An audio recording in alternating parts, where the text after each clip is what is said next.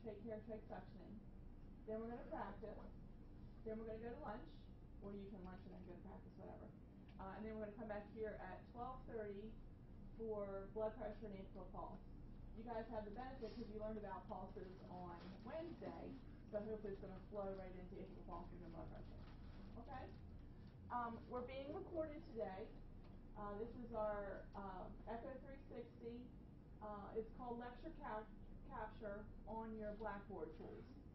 So uh, once we record this morning and upload them this afternoon, you'll be able to review these skills um, on your Blackboard class. You know, because it's a lot to learn. You remember, it's like driving a car. Remember, I'm telling you to adjust the mirror, adjust the seat, adjust, turn the radio off, turn your. It's just too much at first, right? So um, just you know, absorb some of it, review the tapes, practice it. Uh, the students went practicing yesterday, and they made great strides in a couple hours. So um, it, it, works out really well that way. Okay. Um, I also want to uh, remember I'm teaching you the Delaware Tech Owens campus policy and procedure. So we have put, or we try to find videos that are very similar to what we do. Um, and like I said, when you're practicing, or even in home health, home health is completely different than what I'm teaching you today. We're doing hospital-based trach care and trach suction, where all the germs are, where all the scary germs are. So we're doing it as sterile as possible. All right. Um, so um, I saw there was some discussion about the way I demonstrated is different than the video, and that would be the video from the other campus. Okay, so make sure that the way I demonstrated today and the way it's videotaped is how you'll be evaluated on the skill. Okay? Because this is based on evidence-based practice, and it's the safest and best way for you to perform the skill, especially when you're learning it. All right? Any questions about that? Was there any more discussion about it overnight? Okay. Um, so I think we're ready to start then. Um, yes. Oh, the handouts are over there. Um, this is take two for videos.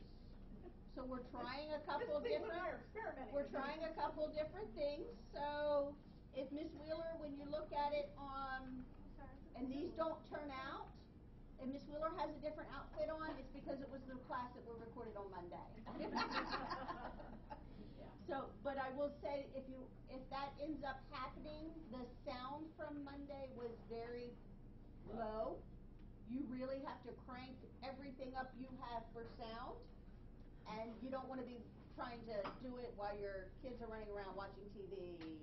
You will be able to better sound today. So we're trying to get better sound. But we might mess up something else. You never, one never. Never know. yeah, we're not sure where the camera is today. Like this Well- is tape three. So. Well, we, we're doing. We have three cameras. We have three cameras, one of which is over there to the mannequin, our little GoPro, and we don't know what we're recording because it goes on an SD card. So we'll find out after class. So what do you guys take all of this and then put it together? That's what that does. We hope so. We're trying. And I have two directors here, so if I'm distracted or say something left and I mean right, please raise your hand and say, Miss Wheeler, what what did you say? Please, you know, She stop me. occasionally wanders out of the picture. Or if we go like this, she needs to put her stuff down so that it's up on the cam, up there on the screen. So I'm very distracted. So, Are you nervous? No, not at all. Which is weird. I We don't- a little bit. In other words, we don't scare her in the slightest. what? Right there. You can watch right there. And I'm recording, I'm recording right there. Okay, cool. Um, there was something else Technology, gonna say. man. Oh, uh, your questions are fine, you know, good questions, I might restate it so that it gets on the mic. So, um, you know, don't worry about, you know, being recorded yourselves, because it really adds to it, okay? All right, so, um, let me just make sure, I'm, are you recording, are you good? And to not move the camera around, usually you don't get to see Miss Wheeler's head. Yeah, where are you, where, what do you want to be focused on? And what do you, what do you? Me, right here. Your torso. There you go. Okay, All right. Um, let me make sure I'm ready. Yeah, my palms are sweaty. Now- now- Well, like, can we see your hands when you get to the other Yeah. side? Yes. Yeah. Okay. yeah. I, um, the problem is, is I move around a lot. And I have to say, change over here and not in there, and so I'm trying to, but I can see all your faces today, so that's good. Cause before there was a couple, couldn't see them. All right, I'm ready. Let's talk about airway structures first, all right? So I have your packet. Um, I like your, uh, Pearson skills book. I was able to review it this week. The skills are beautiful, probably the best I've seen. So, um, and then I forgot to bring my skills book home, so I had to use the link that Mrs. Fleetwood posted, thank you very much. And I was able to go online through your Blackboard class and look at your Taylor Skills book. So I updated your sheets to put the, where the skills are, but I didn't print those out for you. I'm gonna tell you where they are. But anyway, we're just gonna start with just a brief review of anatomy and physiology, so you remember, um, how it normally is supposed to go. We're gonna have a patient with a tracheostomy today, and so things are differently. So the nursing care of a patient with a tracheostomy, um, is gonna be different than normal anatomy physiology. So let's just talk about the upper airway for a minute, okay? Talking about the, um, the uh, sinuses, the oropharynx and things like that. What is the purpose of that for respiratory, the respiratory system? Why do we have the upper airway? The air comes in, and then what happens to the air? It's warmed, it filters it out, and what else? Besides the next one. It humidifies it, very good. So those are the three purposes of the upper airway. So if we bypass that with a patient, our nursing care is gonna be focused on providing those three things for our patient. We're gonna have to humidify our oxygen, we're gonna have to make sure it's completely clean or sterile, because the patient doesn't have the benefit of filtering it out. And we're also sometimes gonna warm it if the patient's sensitive to that, okay? Moved. Okay. Uh, so, uh, we also have the larynx there, which is also known as the voice box. So if our patients have a trach, they're not able to speak typically, alright? So we're gonna have to adjust our nursing care a little bit differently for patients that can't speak. They can't call for help, they can't tell us what their name and date of birth is, right? So we have to think of alternative ways to communicate with them. Um, then we have the epiglottis. The epiglottis protects our patient's airway. Because they lose some of that, they shouldn't be lying flat. Typically, you're going to find trach patients are sitting up at all times to protect uh, from things going from the esophagus into the lungs. Okay, so we're losing that protective. Um, the other thing that we need to talk about is positioning. And the next skill that I'm going to talk to you about is NG tubes. I teach the tubes, tubes, tubes lecture. So if you position your patient properly, you're going to get the tube in the right place. Because today we're putting the tube in the um, trachea. Next week we're going to be putting the tube in the esophagus. So if you position your patient properly, the tube's going to go in the right place. Because the GI tract is dirty, right? Unfortunately, it's right next to the airway, which is sterile. So, if we position our patient this way, what do you think we're doing? What is that position? Think of CPR under airway. We're opening the airway. Remember when you do CPR, that's how you open the airway, you extend the head. So that's how our patient's going to need to be to get the trach tube in. When we put the NG tube down in the gastric, how do we protect the airway with swallowing? Chin tuck.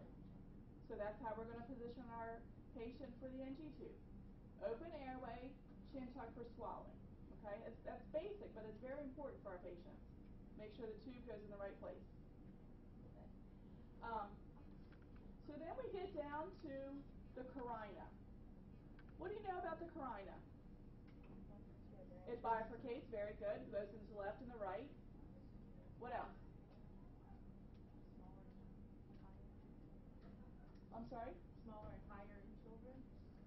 Yes, it can be in a different position in children, that's right. She says contains cough receptors. Cough receptors, that's very important. We're going to be putting a tube into our patient's trachea, and when it hits the carina, I want you all to say carina, because you're going to talk about the carina. It rhymes with vagina. you won't forget it, right? Right. Sure enough, somebody this week said Karina. Karina. It's Karina. okay?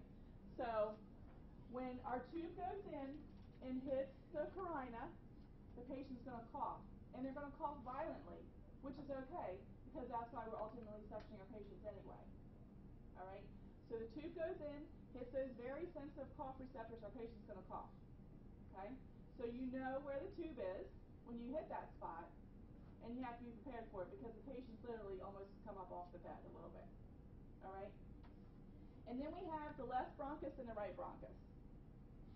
The right lung has how many lung fields or lung lobes? Three. Three, very good. And the left has two. Which bronchus is narrower? The left, very good. So which bronchus is wider? The right. So if a patient perhaps aspirates, maybe I choked on my gum, which lung do you think that might go in? The right. So when you're listening to breath sounds and your patient might have aspirated, where do you think you're going to hear changes first? Right. In the right, okay? So all that anatomy physiology is very important. And I said it this week, we were talking about pulses, and they're finding the pulse. I'm like, where are the arteries under here? The artery's not in the middle, right? You have to think about the physiology underneath the skin to figure out where you're putting your tube and where you're going to find those pulses. So it all ties together. That's why it's a prerequisite. Okay? Um, so let's talk about airway suctioning. This is skill number 1318 in your book on page 442. And the reason we suction our patients is like I mentioned before, they cannot cough their secretions out. They're in respiratory distress. So we're going to suction them to get those secretions out. So it's removal of secretions. It might just be upper airway. It might be lower airway. We're going to use a plastic catheter that's in your kit. Okay, we're going to use this plastic catheter. It's for only for patients that can not clear their own airways. We would never do this if somebody's coughing effectively. And why do you think that? We could hurt them, right? Our goal is to help our patients, not to hurt them. How could we hurt them? Introduce organisms. Okay, so this is only for patients that need our assistance. And that, since that's the case, we need a prescriber's order. Okay, we can't just willy-nilly decide to suction somebody. There should be an order for that because we could potentially harm our patients, and we want to make sure we're covered with that order. Okay. Um, there is the instance, though, that sometimes the patient might come with a trach. You know, the podiatrist is worried about our foot surgery, kind of forgets about the stuff associated with the trach. But we, as nurses, are protected because it would be a standing order. We can actually suction the trach without an order. Okay. Um, under standing procedures. So let's talk about the different types of suctioning. And I listed all five of them there for you. Oropharyngeal, nasopharyngeal, nasotracheal, endotracheal, and trach suctioning. So we're going to be doing number five today. Oropharyngeal is just like um, going to the dentist. He's cleaning out the secretions, cleaning out the saliva in the upper airway. Okay. Nasopharyngeal, sometimes they do that in the post-anesthesia care unit. The patient has some trouble opening their airway, they have some mucus, maybe they have a sinus problem, they've got some drainage. They might just go in the upper airway and clean that out. Okay. Nasotracheal, they go in through the nose and into the trach. So that would need to be a sterile procedure because we're going to the trachea. When we talk about the upper airway, it's a clean procedure. Okay. So um, let's say uh, you have an aide with you. Okay. What do you think the aide can do? They can do oral pharyngeal suctioning. Can they do nasotracheal suctioning? No. Can they do tracheal suctioning? No. Okay. Because that is a sterile technique, and there your book explains it beautifully. I love it. There is a trained set of skills and knowledge that goes into trach suctioning that nurses have acquired or LPNs. Okay. So that's why we can delegate some things, and other things are left to those that can critically think about the anatomy and physiology, what the patient's, how the patient's going to respond, and things like that. Okay. So that's the delegation piece as, as nurses. Right. Um, endotracheal suctioning. Now, some patients you might have seen, like if you watch ER or any of those medical shows, I don't even know if there's any more any on anymore. These Grey's Anatomy, so on. Um, this is called an endotracheal tube. A patient on a ventilator or respirator, but that's not a really good word, might be breathing through a breathing tube. Okay, so this would go in the mouth. It's put in by an anesthesiologist or surgeon. Comes out. Patients can't talk. This is the endotracheal tube. Okay, so if they need to be suctioned, they would use this suction device in line, put the tube down, um, suction out their secretions, and pull the suction catheter out. This is the endotracheal tube. Okay. To be clear, that one goes inside of the Yes. Um, this actually, this plastic covering keeps the catheter sterile because these patients usually have a lot of secretions and they need to be suctioned a lot. So rather than opening a whole kit, setting everything up, it's all self-contained in here and the catheter actually goes in like this into the patient. Can they see? Come out the end. Come out the end of that, ETG. Yeah, is it? Well, we can't see it. We 'cause it's can't from- see it In your, 'cause it's in your trachea, we can't see it. Yeah. It's in your You have to hair, take we it out. can't. Oh, it's coming at you, it's coming down your back, there you go. See? Okay. The cough. Except they can't hear. I mean, you can't, um, they can't speak, so it's like. you apply the suction, and like you turn this catheter out. What? Would you like me to cut that section? Okay, so that's inline suctioning, and I think I talked about that, um, on your paper somewhere, all right? So we're gonna learn about tracheal suctioning today through a tracheostomy, and we're gonna talk about care of the trach in a little bit, all right? Um,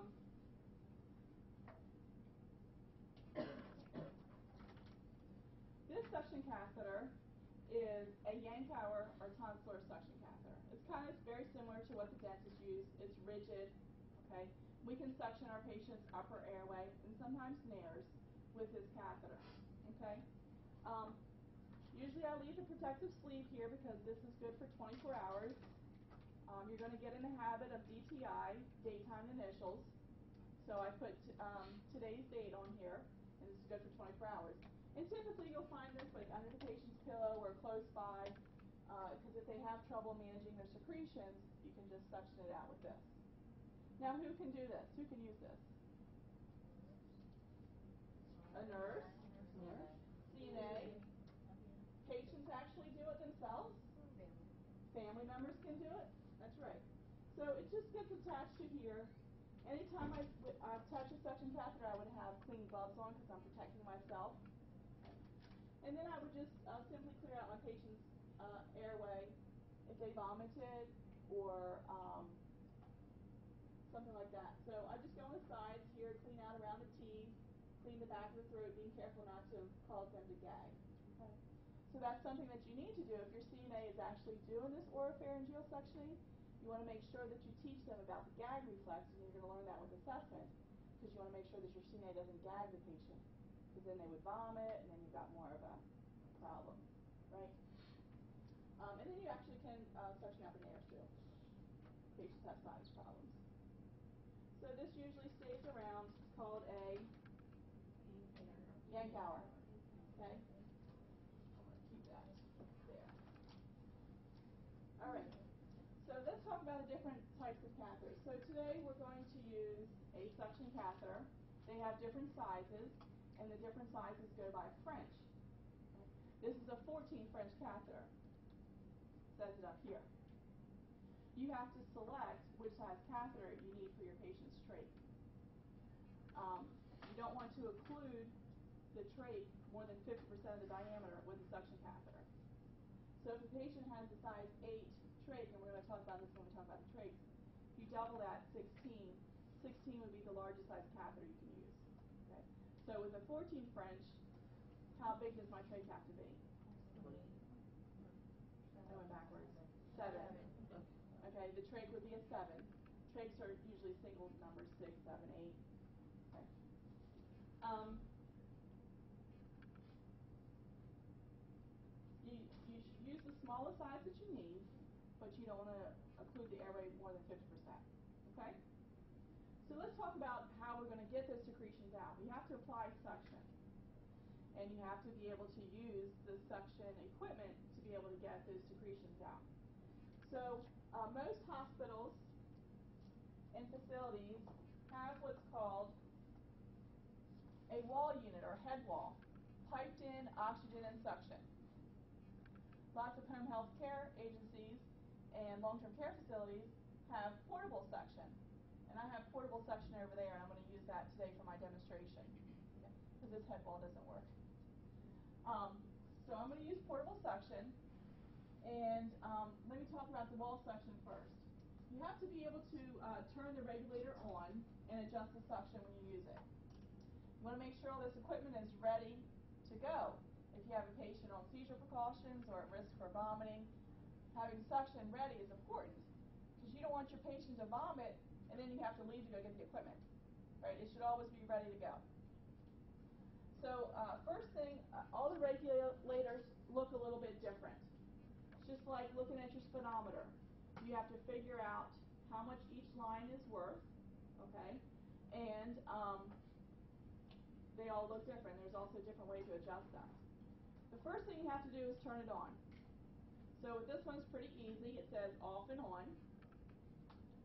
And then you adjust the suction. We're going to talk about that. This one's a little bit different. This is also used for patients that are connected to an NG tube. And rather than getting continuous suction, they get what's called intermittent or INT suctioning. When we're suctioning a patient's trach, we're going to do regular or continuous suctioning. Okay? So that would be off, and this would be continuous, which is what we're going to use. Right? And then you adjust this dial, and each of the dials go differently. It tells you more suction is to the right, this one more suction is to the left. So you have to know how to adjust it. Um, we have three different suction regulators in the lab. This is the third one. This one's easy. It says off and continuous. And then it's got the dials there. So I'm going to pass these around so that you can take a look to see what they look like and how they're different and um, how to turn them on. So you have to be able to turn it on and adjust it. Okay?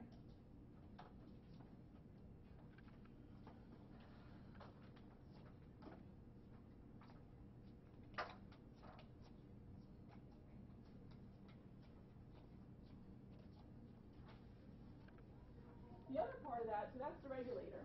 The other part is the canister. In order to suction your patient effectively, you have to have a closed system. If any of these ports are opened up here, you're not going to create suction for your patient. Part of the aide's responsibility, or the nurse is going to make sure it gets done, this needs to be empty every 24 hours. Sometimes it's measured, but for suctioning it's not because we're going to be um, sucking up some saline. All right. So a lot of these are different. It'll usually say to patient, it says patient here to suction. This would be the port to empty it out.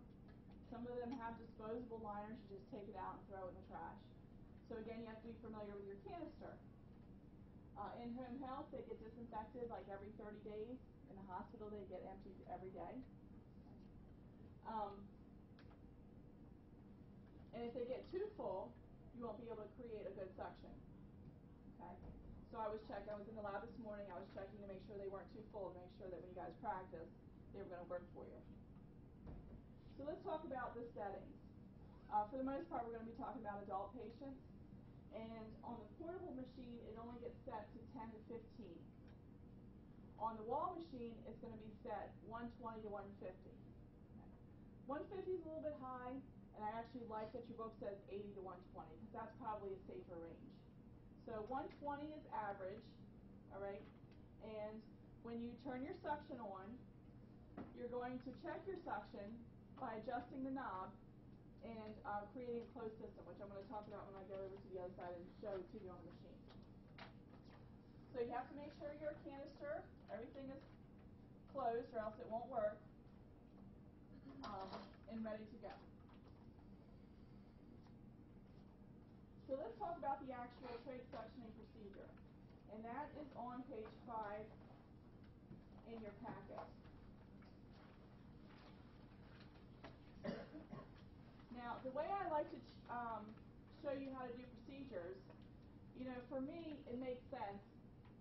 You know, you can tell me something, But if I don't understand it or know why you're doing it, it doesn't make sense to me. So when I give you the whole procedure, I give you the rationale, and that's what um, nurses talk about. Why do we do what we do? Well, this is why. So on page five, this is what we do, and then we explain why we do what we do. Okay? That also helps us when we're teaching our patients.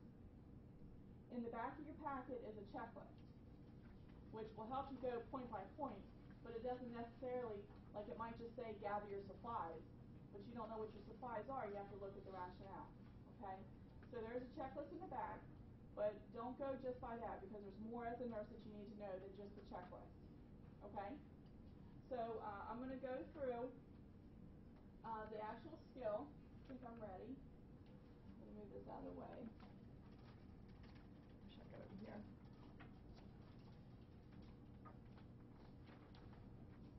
Move the bed back there. Move the bed back over there. Okay. I never realized these are flashing. Yeah. It's 'cause it's all, we don't know what it's filming. I don't know, yeah. But one's just gonna We film. didn't know what it was filming before either. Is that good? Yeah. Okay, so I have my table here. I have to lower it. There you go. Oh, you're That can gonna come. put me You can slide to the left if you want, in that other chair. Oh, yeah, oh. All right, so um, we should start every skill with standards of care, SOC. Okay, and basically we start all of our skills with a couple of important things, such as washing hands. What else do we do? Um, I heard put on gloves, but it depends on what we're doing, right? I haven't got my supplies yet, so why would I put on gloves to go get my supplies? So we wear gloves. Why do we wear gloves? To protect ourselves. Okay. Um, we identify our patient. I heard somebody say that. We're going to use two identifiers. So I have here today. Are you Susie Bonebreaker? And lots of times lip read, so my patient might be able to move their lips, and I can tell. Were you born in January? No, I'm just kidding. I see April. April the 23rd, 1957. Is that your birth date? So we always use two identifiers. I identify myself. Hi, I'm Miss Wheeler, your nurse today. What else do we do before we start any procedure? Explain the procedure. Very good. Provide teaching. Okay. Certainly don't want to jump in and start doing something before, um, especially this, because, right? Explain it to the patient. Um, I saw somebody say privacy. Okay. So provide the curtain. I'll probably close the door because it's not very pleasant for people walking by to see what I'm going to do. All right. Um, and what else do I always do with standard of care? Safety. Okay, very good. Make sure my bed is locked, which I already did. Uh, I'm going to raise my patient to working level, and actually his trach is right here at my hip level, so I don't need to raise this bed. Okay. Some people are shorter. Um, some people are taller. They have to raise the bed. All right. So work, raise it to your working level, and um, anything else that's safety required during the procedure is what we're looking for. Okay? The other thing is, is I'm going to put my side rail down because it's kind of hard for me to lean over. It's not good for my back to lean over. Um, and I'm going to be checking his pulse ox and things like that. So side rail, so that's safety. So in order to remember all those things, standard of care at the beginning of every skill, we talk about wipes. W, wash your hands. I, identify the patient and, the pa- and yourself using two identifiers. P, provide privacy. E, explain the procedure. And this is actually on your skill checklist. I did remember to add that. um, and that's on page 7 in your packet, I believe. Um, let's see. Explain the procedure and S, safety. Safety at all times. Okay? So uh, we're going to start every procedure, and from now on, we're just going to call it SOC, our standards of care. And you're going to say, I'm going to wash my hands. I've identified myself, and you are provided privacy. Um, I'm going to explain the procedure to the patient, and what I would say is, uh, Mrs. Bonebreaker, um, I see you have you're having some trouble getting the, that mucus out. So I'm going to use this catheter to to uh, help you cough, and it's going to help you get the secretions out. It's not really painful, uh, but it is going to give you a good cough. And then safety at all times. So I cannot leave the bedside with the bed up or the rail down. Okay? If I have to go around there to adjust the suction, I'm going to put the side rail up. Okay? I don't necessarily have to put the bed down because I'm not leaving the bed. Right? If I walk away from the bed, I have to put my bed down. So those are the safety principles we're looking for. Okay? So um, to determine if my patient needs to be suctioned, what kinds of things would you be looking for? Difficulty breathing. Now, is that the patient saying I'm short of breath? How would I? A gurgling. Okay, I might hear some. Did you guys learn about breath sounds yesterday? What would be what would be a, a breath sound that a patient might need suctioning? Crackles. Ear close. Rhonchi. Rhonchi. What is rhonchi? I'm sorry, what? Say it. What is rhonchi? Huh? Is it thunder or the? Oh, rumble, uh, what causes, what causes rhonchi? rumbling. So if you have mucus in your large airways, that would create the rumbling or the rhonchi. Okay? Sometimes if people have aspirated something, the um, bronchioles constrict, cause bronchospasm. Okay? So you might have some wheezing. So you notice a change in your patient's condition that they need to be suctioned to get the mucus out. What other kinds of assessments do we need to do before we do inter- any intervention? See, I'm always using a nursing process, right? I assess my patients first, ASS, protect his airway, it's priority, right? I'm going to do something, I'm going to reassess and evaluate what my actions in my interventions. Yes, Justin? Will you be listening to the lung? Very good. Uh, I would listen to the lung fields. Very good. Okay? With my morning assessment, I would listen six anteriorly, two to the side, six posteriorly, but my patient needs to be suctioned. So I'm not going to listen to 12 lung fields. I've listened, I heard some rhonchi, I'm just going to go, because the upper airways are up here, right? I'm going to listen, he's got rhonchi, he needs to be suctioned. What else are we going to assess besides lung sounds?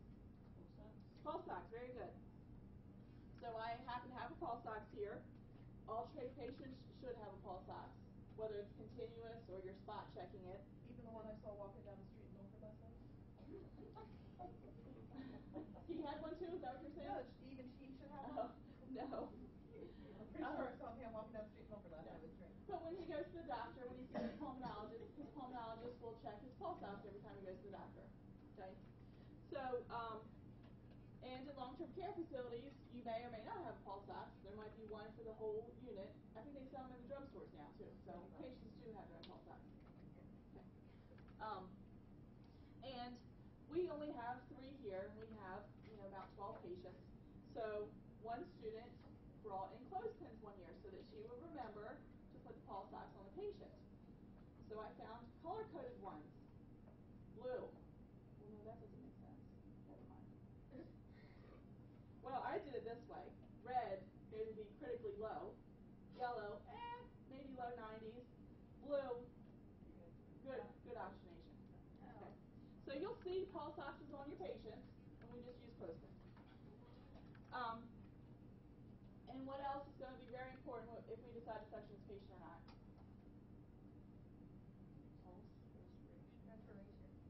Respiration. Yeah, we want to make sure they're breathing. And we'll count the respirations. What else? How do we decide whether we're going to suction a patient or not? Doctor's order. A doctor's order, yeah. What else? My patient might not be able to cough. So I really don't want to introduce a tube if he coughs on his own. So I could just provide him with a tissue. Okay. Uh, go ahead and cough for me, Mrs. Bonebreaker. know, they can cough into the tissue from their trach. Okay. So if they can't get that mucus up, then I'm going to trach them. I mean, going to suction them. All right. So um, I wash my hands. Okay. A lot of these things you're just going to state. Okay, because it's not, you know, um, reasonable to expect you to go to the sink every time. So we're going to wash our hands, or we're going to keep alcohol in our pocket. Okay. Hand sanitizer. Hand Not vodka. Um, Clear that up. Thank you. Um, and I'm going to let my patient know know it's okay for you to cough when I do this procedure because that's good. They actually will use all their muscles and all that physiology to get that mucus out, okay? Which is way more effective than me putting a tube in. All right. Um, then I need to gather my supplies. I need my sterile suction catheter kit, and I'm going to need a bottle of normal saline solution, NSS. You guys have them in your lab bags, okay? I'm going to need my gloves. Anytime that I touch any suction catheters, I need gloves. So I'm just going bring a couple over there with.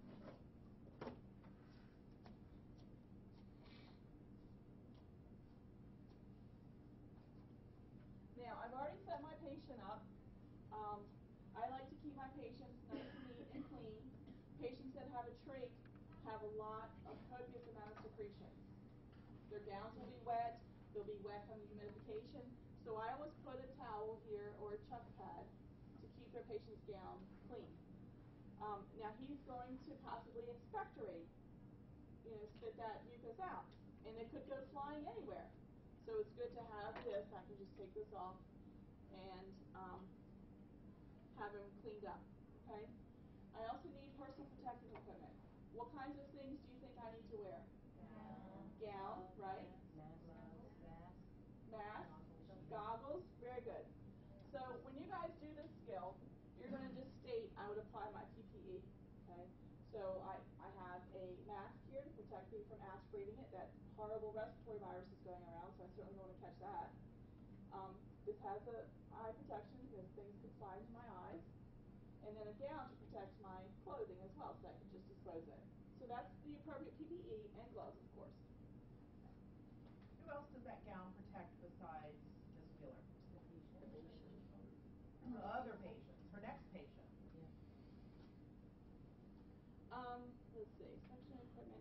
I need to make sure that my suction equipment is ready to go. All right, I haven't turned it on yet. So I'm going to do that next.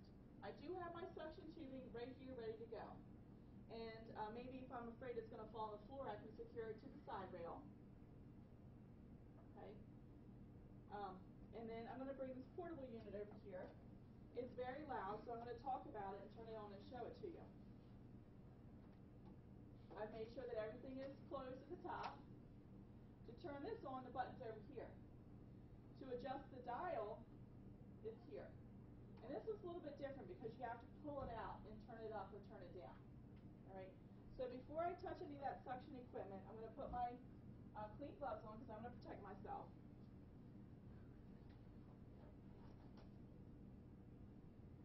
And it's very loud, but I'm going to try and talk over it. So. Now my dial does not go up at all. Okay? It's very like very much like a tire gauge if you're putting air in a tire. Okay? It's not going to go up until I make it a closed system or pinch my tubing. Okay? Now, I don't include my tubing like this for a couple of reasons. Nurses have actually gotten herpes of the thumb, herpetic whitlow. Okay, so that's one of the reasons why I don't like the video I posted because that's the way she does it. The best way to do it is to kink it like this. That way you're keeping your finger away from the thumb, right? So bend the tubing um, to check your pressure. So I'm going to do that again. And you can see the dial's not going up, but when I bend my tubing, you see the dial? Okay, that's way too high. It's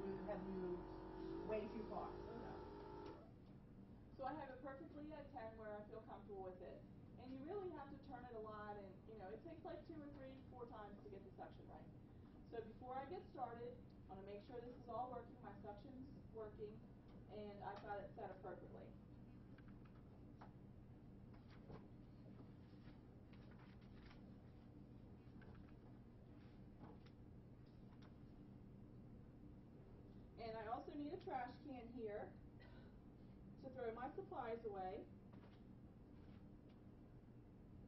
And I think I have everything ready. Okay? So, um, I've properly positioned my patient. He's in semi-Fowler's. He might actually need to be in high Fowler's position. Um, this is just a, a, a thing with the mannequins. Our mannequins are very chinny. They have a very prominent chin. There's only like an inch between the trach and the chin, which is not usually the case. So I've taken his pillow out, because with his pillow here, okay, so I've taken his pillow out, I've got him in high Fowler's position, he's pulled up nice and high in the bed, so that I can access his trach. Because I'm getting ready to put a sterile catheter in, and I can't touch his chin, or contaminate it. So he's properly positioned, I have the head of the bed up, I'm at working level, I'm going to go ahead and put my side rail down, make sure I got my suction catheter ready. I'm going to put it up here.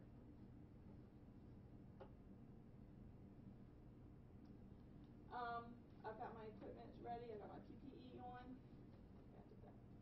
So, I'm ready to start the procedure. Now, this is a sterile procedure. Okay. Um, we're going to introduce it today, and then we're going to learn more about it next week. But the principles, basically, for sterile procedure are we have to keep everything in our view. I can't turn my back like this because I don't know if somebody put something on my kid. Okay? Stays in my view. It has to be uh, above my waist level, but not too high. Okay? All sterile packages are medically sealed, and they will have like a little lip to open it with.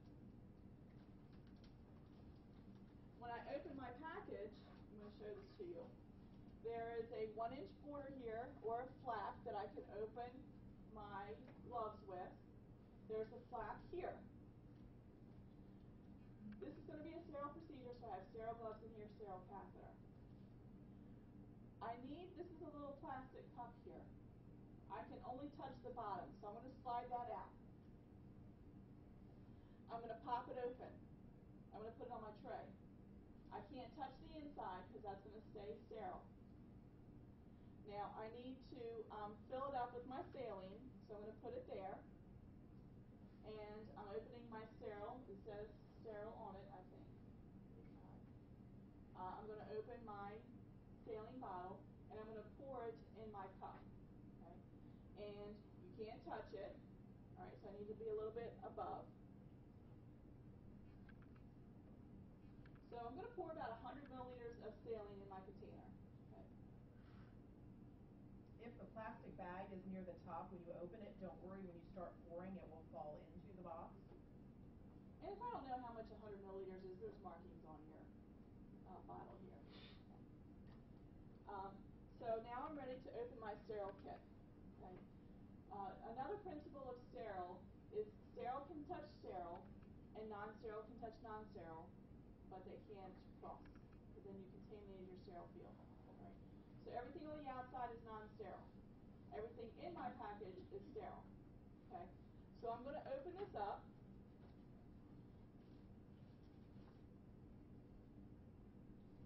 And my cup is supposed to be at the bottom. So I need to spin my package around because I have to be able to put my gloves on uh, from the bottom. So I'm going to spin my package around like this.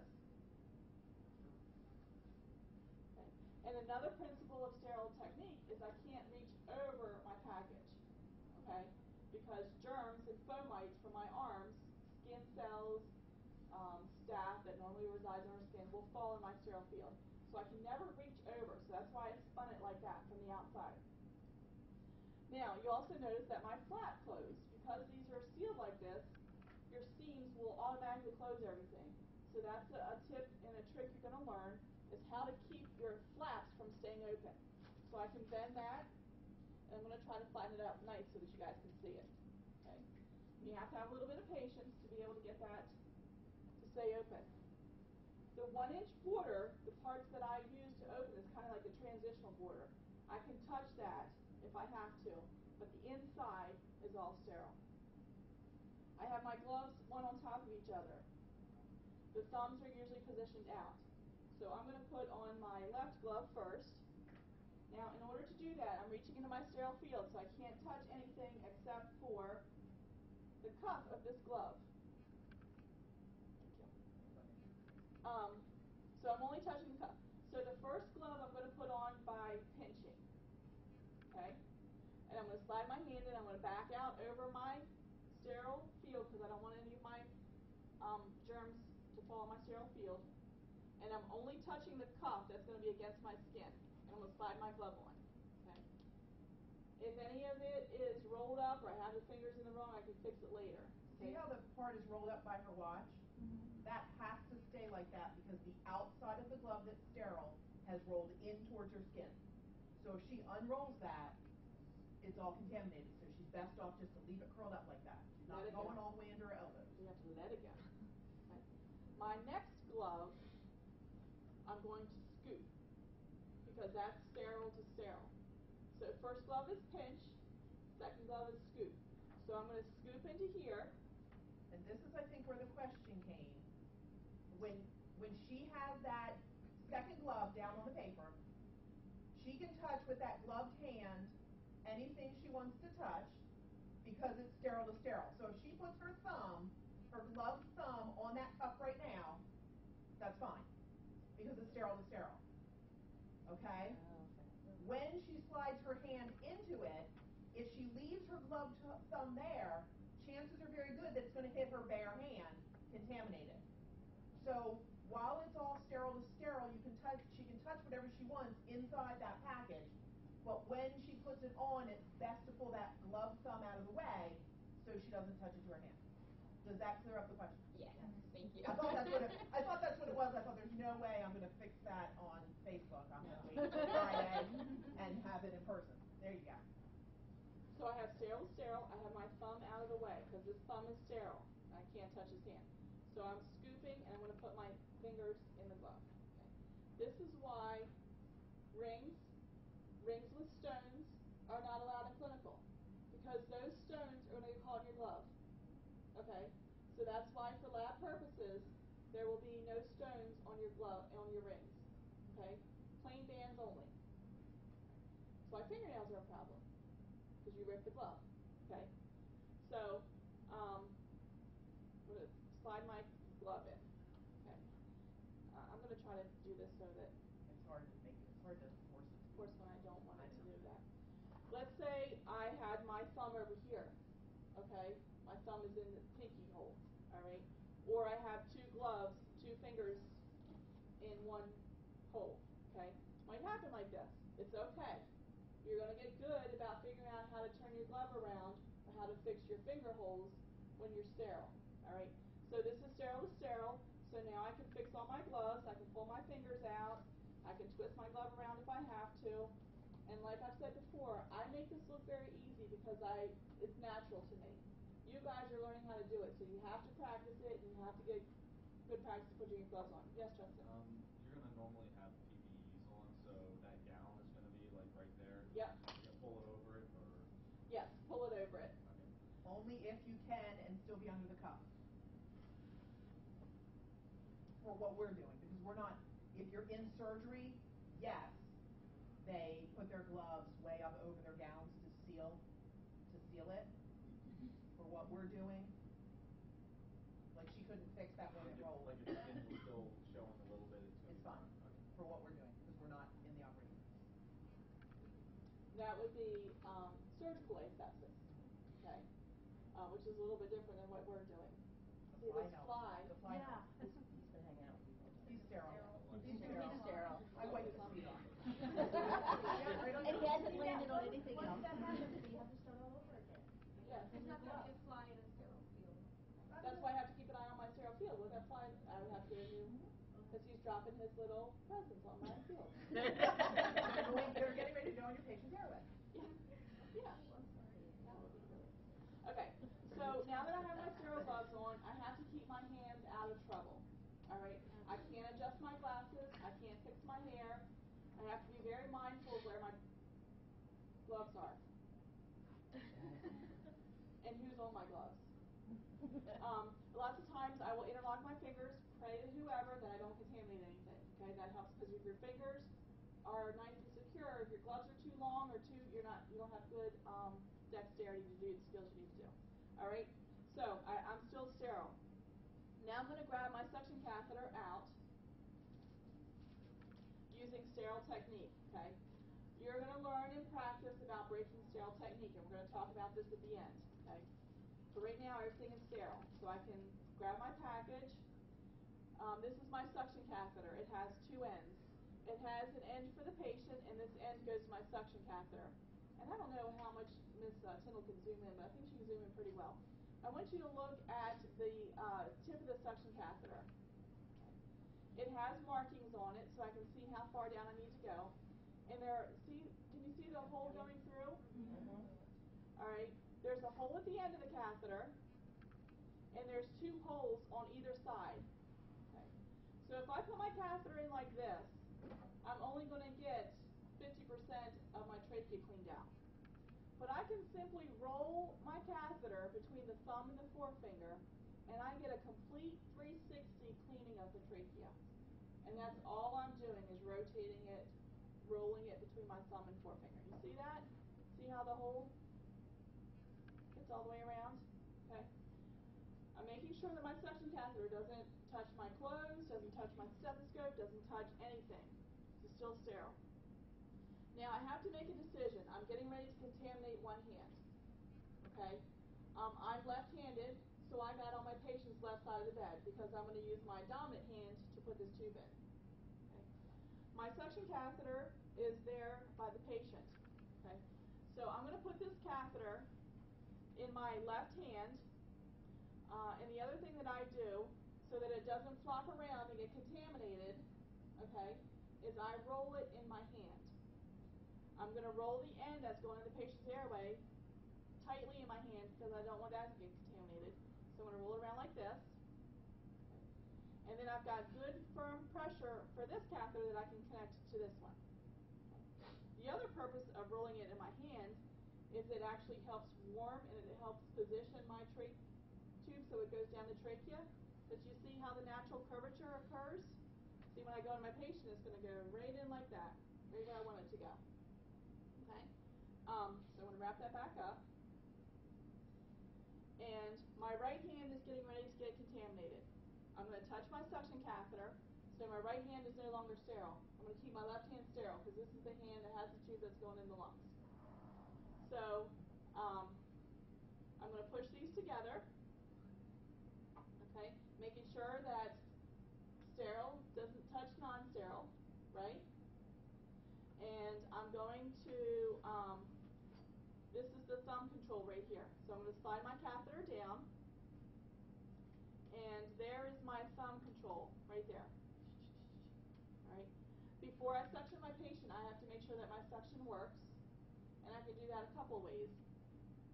Then you have to back out. Okay. Um, I'm going to turn my suction on so I can show you. And I can use this hand.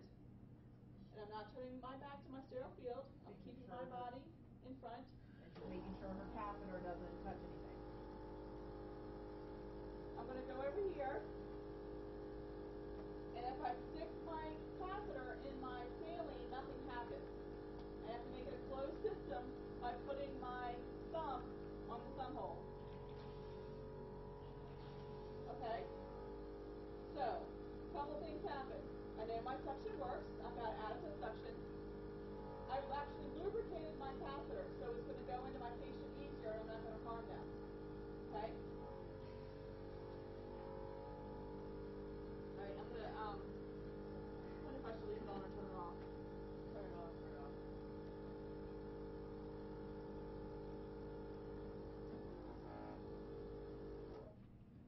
Big exaggerated movements, making sure that this catheter doesn't get contaminated anywhere.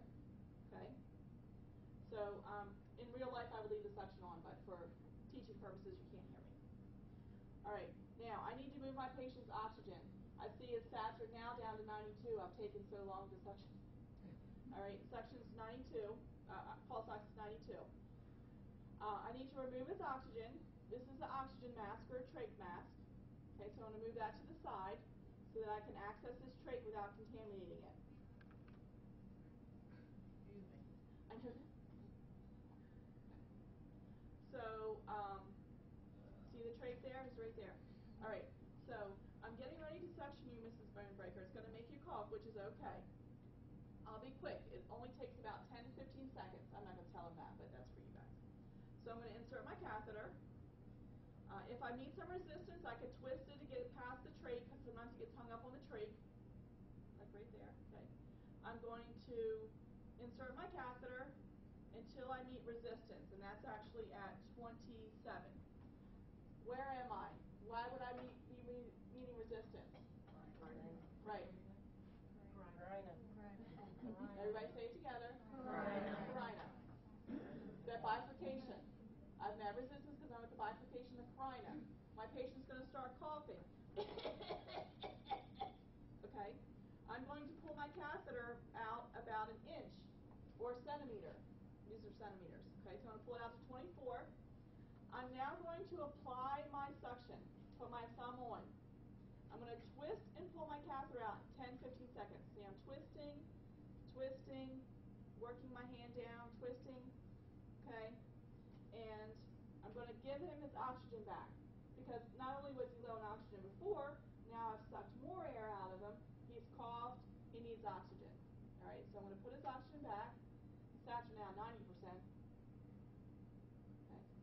While he's recuperating, catching his breath, I'm going to watch his pulse ox. He might still be coughing, which is good. Okay.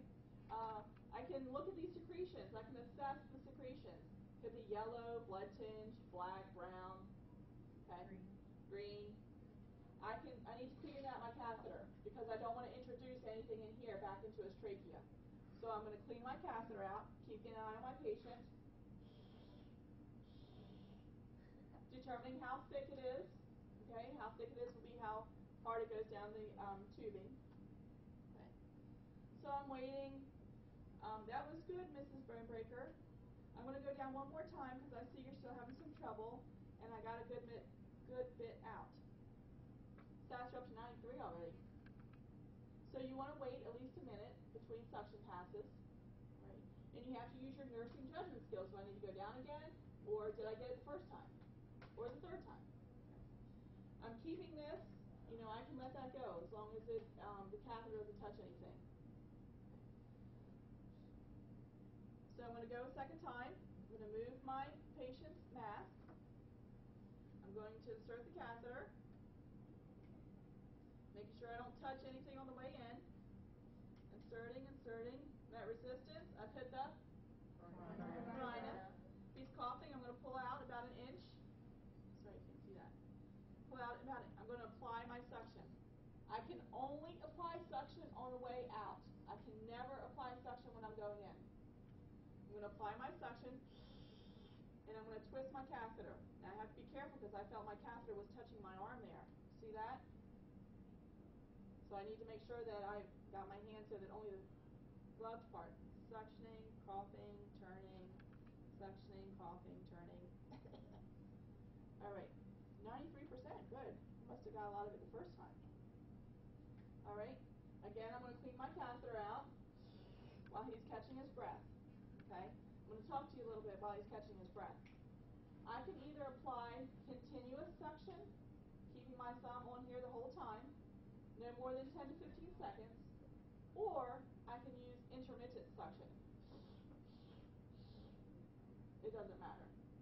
Okay? Either continuous or intermittent is fine. Um, I think I got it with two. I don't hear that uh, rumbling anymore. The stats are 97% already. Wow, I'm glad I came in and suctioned you when I did. Okay, seems like you're doing pretty well. All right, I'm going to go ahead and get rid of my catheter, and I'm going to do it in the most clean, effective way. How do you think I should get rid of my catheter? In my glove. I'm going to put it in my glove, okay, because I don't want this thing flopping around. So again, I'm going to do the same thing. I'm going to wrap it around my hand, okay? I'm going to pull this apart, put my section there. I'm I'm gonna take it off in my glove. So I'm gonna pull my glove up over my catheter, making sure it's all self-contained and enclosed in this glove. Help cut down germs in the hospital. And then I'm gonna put my second glove inside.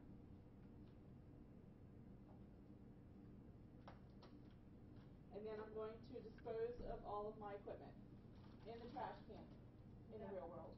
Would that require a biohazard bag? No. Biohazard is only for soaked equipment, blood, um, things like that. Sometimes suction catheters may or may not be considered biohazard, but it's not biohazard. Um, and then I would pour my saline in the in the sink or um, and throw that away. Yes. While you're taking the gloves off, if your hand that you took the glove off accidentally touches what what you had in your hand, even though you're done, I know it's you don't want to do that, but is that okay?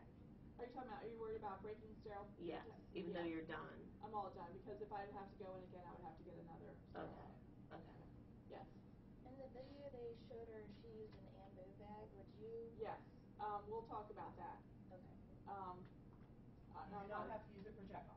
Okay. But you'll talk about how you use it, why you use it. Yeah. Um, any other questions about the suctioning procedure?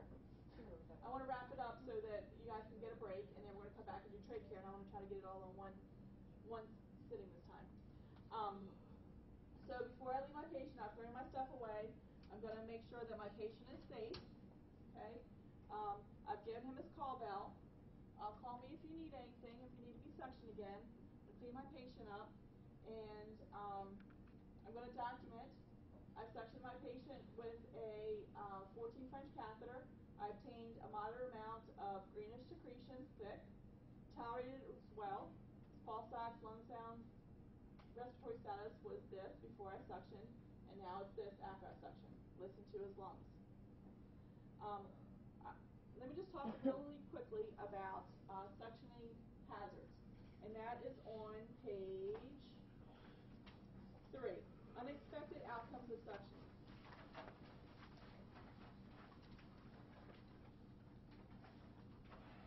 Mucosal trauma. We're going to avoid mucosal trauma by only applying suction on the way out.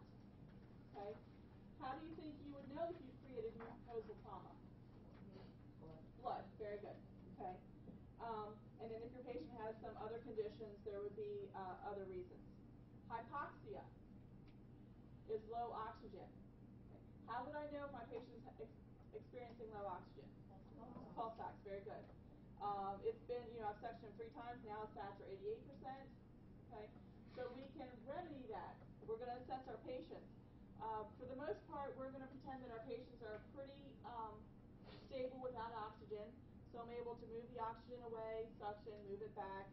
Uh, in some instances, you actually need to ambu the patient, and they do show that in the video. Uh, but this is really for um, significant emergencies. Your patient is like 80%. Okay. Uh, so this is an ambu bag, also called a bag valve mask, BVM. This has a mask. This would be for patients that don't have a trach. Okay, you would just position this over the nose and mouth to, to ventilate a patient. But he has a trach. So just like oxygen devices, I can take the mask off. Okay, this will either fit into that ET tube, or it can fit to this trach. Okay, and I can actually ventilate him like this. But we're not going to do that. Our patients are pretty stable, all right, uh, and we are able to just monitor their pulse ox, which is so important, and make sure we're giving him his oxygen back and forth. Okay? And this is a trach mask. Um, and then I've determined part of my assessment. I can see that it's set at 35%. He has humidification in here. This is just a bottle of sterile water. So if this got low, I would get a new bottle or call respiratory therapy. Okay? And this is connected to the oxygen, and this would be turned on. So that would be part of my assessment of the respiratory status.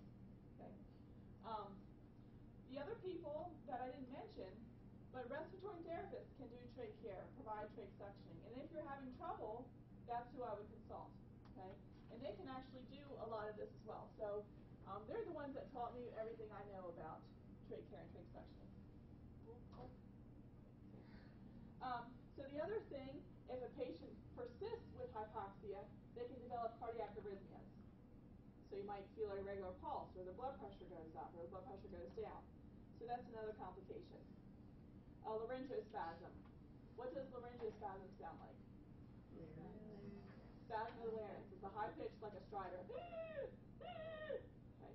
So if you put that tube in your patient and that develops, that condition was caused by you putting the tube in, so you can't do that anymore. Okay, that would be a medical emergency. You have to call a rapid response team and get some assistance. Okay. Bronchospasms. What does bronchospasm sound like?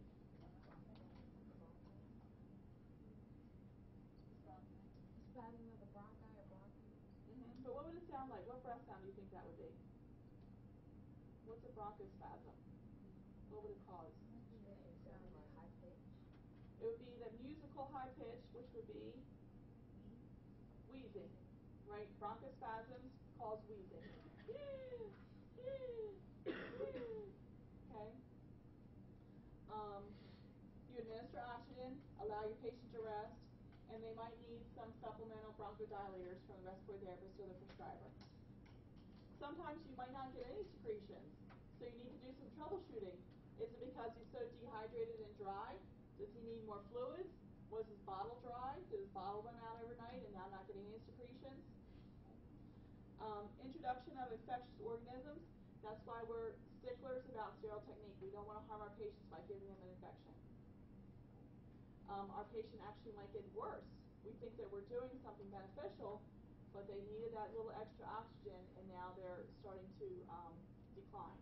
Okay, so we don't want them to uh, worsen. We might have to limit the amount of suction. Um, maybe only suction once instead of twice. Maybe get an assistant to help provide oxygen while I'm suctioning, right? Because this is a sterile procedure.